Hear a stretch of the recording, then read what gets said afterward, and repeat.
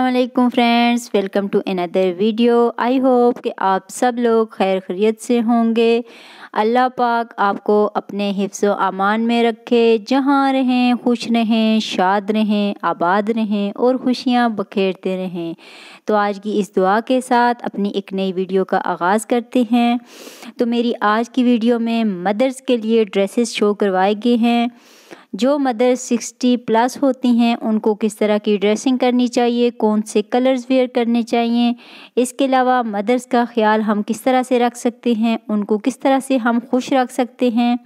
आपसे रिक्वेस्ट है कि वीडियो को एंड तक लाजमी वॉच कीजिएगा और वीडियो पसंद आए तो लाइक लाजमी कर दीजिएगा। फ्रेंड, जैसा कि आपको मालूम है कि जब ख़वातीन सिक्सटी प्लस की एज में होती हैं तो ज़्यादातर उनके साथ लाइट कलर्स ही अच्छे लगते हैं, जैसा कि इस वीडियो में शो करवाए गए हैं।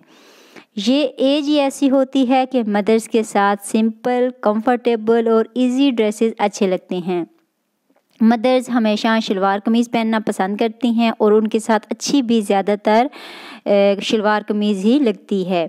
इस एज के लिहाज से प्रिंट भी मखसूस होते हैं।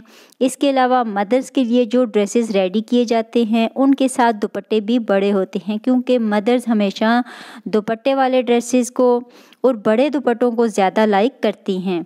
इस वीडियो में मदर्स के लिए हर तरह के ड्रेसेस दिखाए गए हैं और डिफरेंट कलर्स भी शो करवाए गए हैं। आप इस वीडियो से आइडियाज़ लेकर अपनी मदर या फिर सास के लिए ड्रेसेस स्टिच करवा सकती हैं। आप इस तरह के खूबसूरत कलर्स प्रिंट और डिज़ाइन के ड्रेसेस बनवा कर अपनी मदर्स को मदर डे पर, ईद पर, या जब भी गर्मियाँ स्टार्ट हों, आप उनको लोन की ड्रेसेस बनवा कर दे सकती हैं। सर्दियाँ स्टार्ट हों तो आप उनको खद्दर, मरीना और करंडी के ड्रेसेस बनवा कर दे सकती हैं। इसके अलावा जब भी आपको मौका मिले तो आप अपनी मदर्स का ख्याल भी लाजमी रखा करें। उनको टाइम पर खाना खिलाना, उनके सर की कंगी कर देना, उनके हाथ पाँव की लोशन से मसाज कर देना, इन सब कामों को अपनी ज़िम्मेदारी समझ कर करना चाहिए। अक्सर मदर जब बहुत ज़्यादा बूढ़ी हो जाती हैं तो उनको हमेशा एक सहारे की ज़रूरत होती है। हमारा फ़र्ज़ है कि हम एक अच्छी बहू और एक अच्छी बेटी होने के नाते उनकी ज़रूरियात का ख्याल रखें।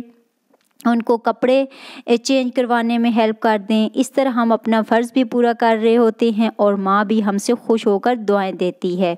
आजकल की बहू समझती है कि सास ससुर को संभालना हमारी रिस्पॉन्सिबिलिटी में शामिल नहीं है। ऐसा बिल्कुल भी नहीं सोचना चाहिए। औलाद को हमेशा बुढ़ापे का सहारा समझकर माँ बाप पालते हैं कि कल को ये बच्चे हमारे बुढ़ापे में हमें संभाल लेंगे। बट बेटे की शादी के बाद माँ बाप के साथ हमारे माशरे में कोई अच्छा सलूक नहीं नहीं होता। इंसान आज जैसा करेगा, कल को अपनी औलाद की सूरत में वैसा भरेगा। इसलिए अपनी बूढ़ी मदर्स का बहुत ज़्यादा ख्याल रखें, उनको ऐसे ही डील करें, उनको ऐसे ही ट्रीट करें जैसा कि आप अपने बच्चे को करती हैं। कल को इसी माँ ने आपके शोर को भी इसी तरह पाला था जैसा आज आप अपने बच्चे को पाल रही हैं। इसलिए मेरा तमाम पाकिस्तानी बहुओं को ये मैसेज है कि अपने सास ससुर का स्पेशली ख्याल रखें और उनके बुढ़ापे का सहारा बने, उनको प्यार और तवज्जो दें। अल्लाह पाक आपको भी खुश रखेगा और बहुत ज़्यादा रिस्क से नवाजेगा। जिन घरों में माएँ खुश होती हैं, उस घर में बरकत होती है, अल्लाह की रहमत होती है, आसानियाँ आती हैं, रिस्क की तंगी कभी नहीं होती। और जिन घरों में मैंने देखा गया है देखा है। ख़ुद से ये मेरा पर्सनल एक्सपीरियंस है कि जिन घरों में सास के साथ बहू का अच्छा रवैया नहीं होता, वहाँ पे रिस्क की तंगी होती है, बीमारी आती है, परेशानी आती है, रिस्क में बरकत नहीं होती, घर में सुकून नहीं होता। इसलिए अपनी सास को बिल्कुल अपनी माँ की तरह समझकर उसकी केयर किया करें। आई होप कि वीडियो अच्छी लगी होगी। मिलते हैं नेक्स्ट वीडियो में। इजाज़त दीजिए। अल्लाह हाफिज़।